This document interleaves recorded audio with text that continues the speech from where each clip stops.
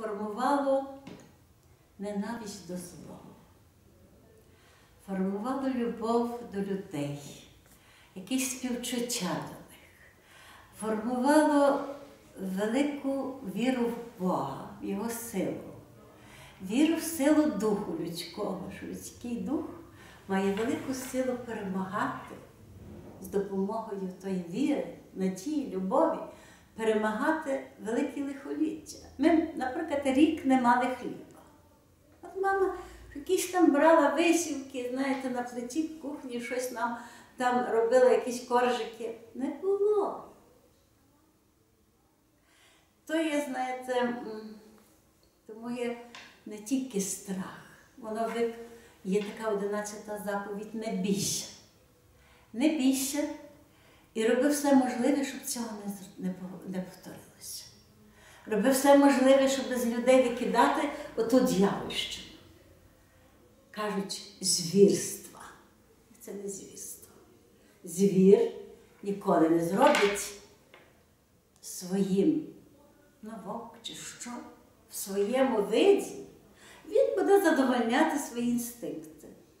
Ну, давали там в античному сві- Римі, скажімо, колізеях, християн перших, як їх пожирали, то ви знаєте з історії, пожирали льви. Ну, але вони тримали їх голодними 2-3 дні. Так, тоді пускали, він задовольняв свою потребу, свій інстинкт. А я не люблю, коли кажуть, що це звірство. Звір не є такий страшний, як той диявол, який вселяється в людські душі. Це дьявольщина. І, ну, а тут так воно склалося. Я добре вчилася, залишили в аспірантурі. Е, Аспірантура пізніше в педінститут, бо я була в педінституті. М, Перевели до Дрогобича. Я багато, багато років була так, без такої якоїсь стабільної роботи. А пізніше в, університет вже прийшла в 59-му році. І якраз мене а ще на кафедрі, на факультеті журналістики, вже був факультет журналістики, але не було стільки кафедр, що тепер. Кафедри мови взагалі не було, обслуговував філологічний факультет. І чомусь мене то тяжкий факультет був. Тут завжди е, якісь були неприємності з викладачами такого ідеологічного характеру. От був, наприклад, професор Житько, прекрасний лектор.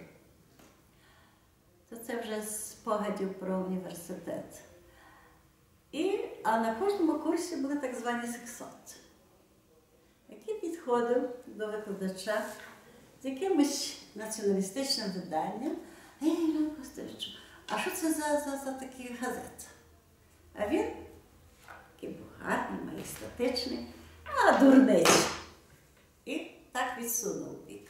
З цього зробили велику політику. Як ти не зголосив відразу, був такий славнозвісний перший відділ КГБ. Як ти не зголосив в першому відділі, що студенти цікавляться такими ворожими справами?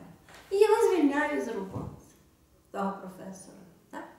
Студентові нічого, бо він зробив велику справу, викрив викладача. Так, і а пізніше просто, ну як би сказати, вам цинічно випирали. Якісь речі під то ви не, не, не здатний виховувати радянську молодь.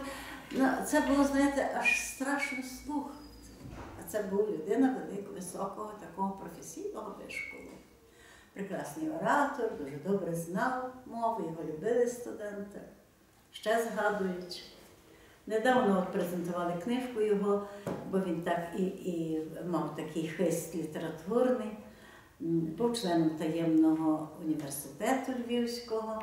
Книжку він написав Дурні діти. Ну, тепер видали перед форумом була презентація його, я ще ходила.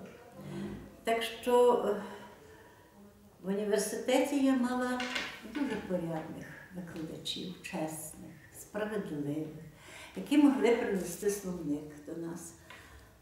А в словнику був тризуб. І наші хлопці, може, перший раз той тризуб бачили. А він це робив так по-езоповськи, знаєте, езоповська мова. Отже, Але безперечно, що та матеріалістична філософія е, вона якось вселяла якісь такі зерна того закріплювалися. Ну, на мову дивилися як тільки на засіб спілкування. От, е, ну то чого то? Про те, що мова засіб спілкування знали ще давним, давно, але є така велика аж філософія. А українська мова це засіб комуністичного виховання мас. Отака була, розумієте. ем, Треба було з того починати, коли говориш про українську мову. А щоб про звуки, ну це є тільки матеріальний вияв чогось ідеального, що є там в думках.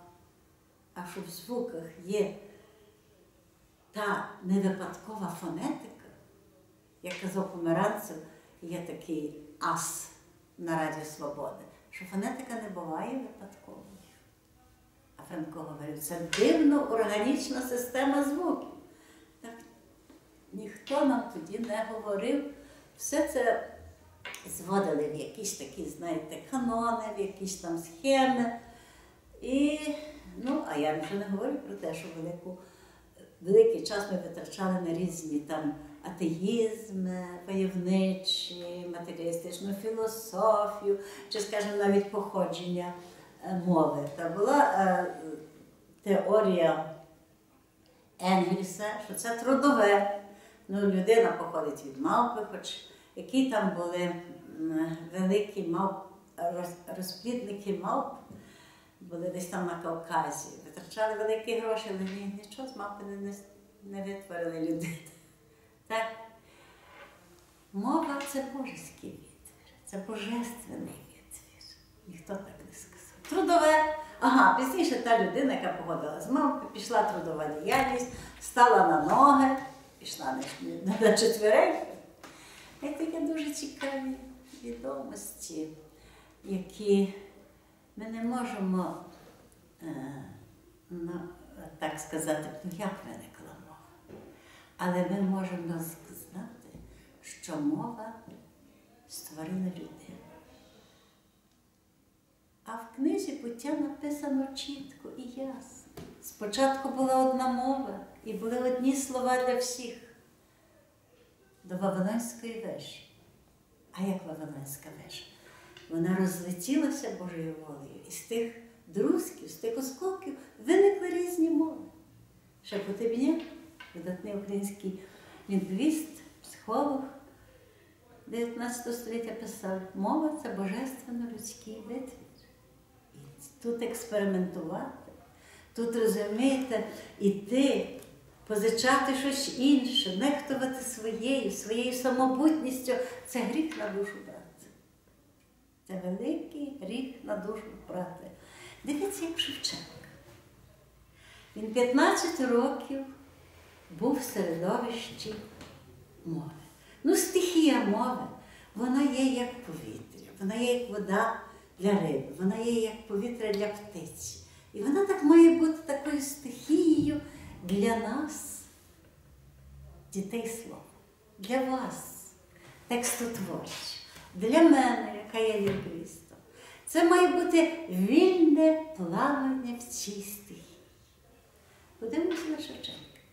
15 років він жив в рідному селі. Зрозуміло, що там не було гімназії, не було коледжів, не було нічого. Був псалтир, був школа дяка. Псалтир він прекрасно знав. Його запрошували читати псалтир над е, покійниками. Тоді що? Вільно, Варшава, Петербург, Оренбург. Де українська мова? Де? Нема.